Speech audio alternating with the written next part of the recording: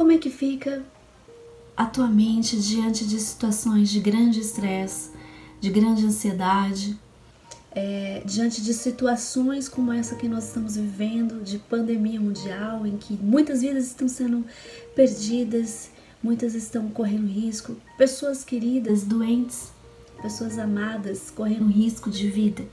Como é que você fica diante disso tudo? Como é que fica a tua mente diante de situações assim? É sobre isso que nós vamos falar no vídeo de hoje.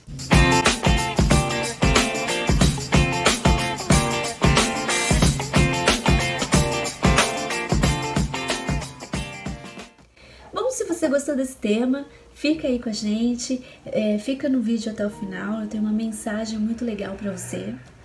Dá um joinha aí, compartilha esse vídeo com quem você ama, porque de repente essa mensagem vai ser muito legal. E não esqueça de clicar no sininho, óbvio. Para quê? Para que você receba as notificações dos nossos próximos vídeos. É, a Bíblia tem uma passagem muito interessante que se encontra em Lucas, no capítulo 10, que fala do bom samaritano. É, o samaritano é uma pessoa que eu, eu, eu não falo o nome desse samaritano, mas ele é de Samaria.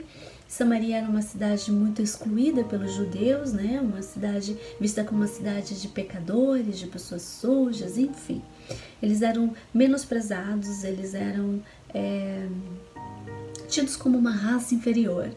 E esse samaritano passando pelo caminho que ele sempre passava, ele era um mercador tal, e ele encontra uma pessoa à beira do caminho Todos passavam por ali e não ligavam para aquela pessoa, passava longe. Quantas vezes você não passou no farol e tentou acelerar no amarelo com medo de parar ali e um mendigo ficar te abordando e pedindo dinheiro para você? Quem fez isso, né? Quem nunca? É, sabe, são situações assim que faz a gente pensar que, pô, o que é mais importante? O dinheiro ou a compaixão? O que é mais importante, você ter ou você doar? O status social ou a vida? E ali naquele caminho, voltando à história né, de Lucas, ali naquele caminho, é, aquele homem passa, aquele homem que sempre teve, é, sofreu preconceitos a vida toda, passa ali e vê aquela pessoa, todo mundo passava e não ligava para a pessoa, porque a pessoa estava ali machucada, caída no meio, na beira do caminho. De repente foi uma pessoa que, sei lá, é, sofreu um assalto e apanhou, enfim, não importa. A Bíblia não conta direito a história daquela pessoa que estava doente, mas o contexto sim. E ali aquele samaritano, aquela pessoa que sempre foi um excluído, ajudou aquela pessoa, é, pegou ela, levou para uma estalagem, pagou sua hospedia na estalagem, pediu para o dono da estalagem ali cuidar dele, cuidar das feridas dele, né? E que quando ele passasse de novo, ele, ele tinha que trabalhar, mas quando ele voltasse, que ele ia ver como aquela pessoa estava. Então, moral da história, o que, que Cristo ali quer falar pra gente, que Jesus quer ali ensinar pra gente? Jesus era craque nisso, né? Ele contava muitas histórias para fazer com que as pessoas pensassem. E de repente, eu contando aqui essa história para você, você começa a pensar no que realmente você precisa valorizar. Como eu posso ter uma saúde mental é, equilibrada? Como eu posso ter uma saúde, eu, eu posso ser mais saudável mentalmente? Pratique a bondade, pratique a compaixão. Diante dessa situação toda que nós estamos vivendo, pare alguns minutos do seu dia e ore. Ore pelo mundo, ore pelo Brasil, pelas tantas pessoas que já já perderam a vida na Itália e a Europa tendo, estão sofrendo tudo isso, agora a América, sim, os Estados Unidos e agora o Brasil correndo tanto risco de perder pessoas que a gente ama, pessoas que a gente quer bem. Muitas vezes a gente não para, sabe? A gente passa o dia. Por que, que hoje nós estamos vivendo a, a, a doença do século, que é o estresse, a ansiedade, a depressão?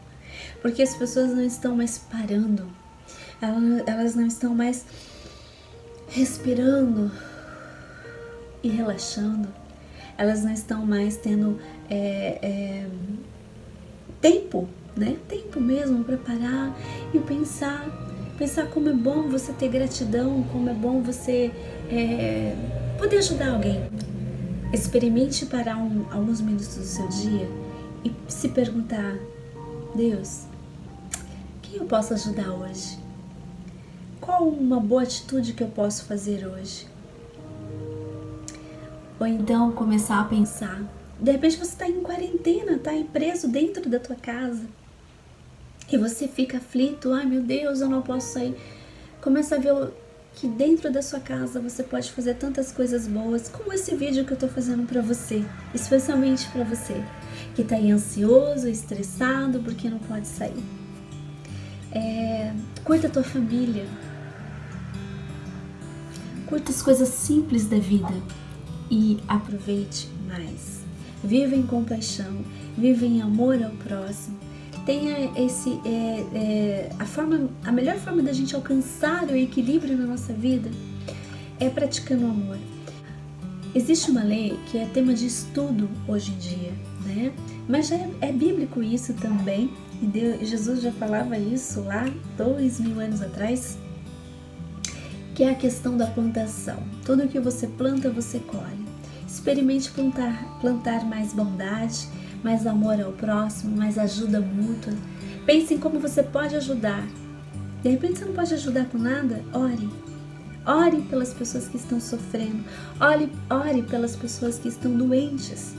Né? Pelos velhinhos que são mais afetados por esse vírus tão terrível e agradeça a Deus pela vida que Ele te deu, pela saúde que você tem, sabe? Ser grato pelo que a gente tem, ser grato pela, pelos nossos entes queridos, isso faz muito bem para nossa mente.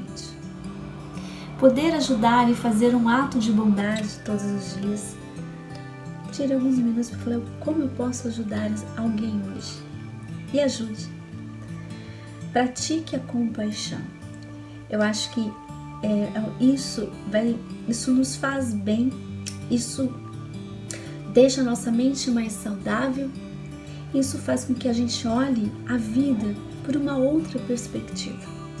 Essa mensagem que eu deixo para você, se essa mensagem foi importante para você, espero que tenha te ajudado. Não é fácil para ninguém.